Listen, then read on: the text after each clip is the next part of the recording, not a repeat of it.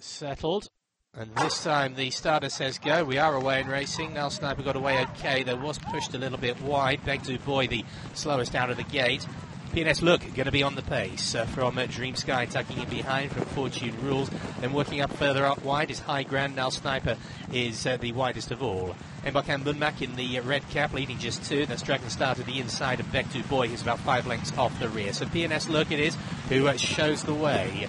Moving up in a second is High Grand. He's going to push now Sniper quite wide. Dream Sky follows Whitecap to the inside. Then followed by Fortune Rules. Hembok Bunmak swings the widest of all, followed by Dragon Star and Vectu Boy. There's PNS Look, who's still led as they come to the 300, is leading now by two lengths from Now Sniper. Up to three lengths now. High Grand also down the uh, far side. Coming through the gap is Hembok Bunmak, uh, but it is PNS Look from Now Sniper, just a half furlong left to run. Dragon Star is working home well, but it is PNS. Look, Gates a wire in the opener here. Now Sniper, the hot favourite, can only manage second with Dragon Star in third.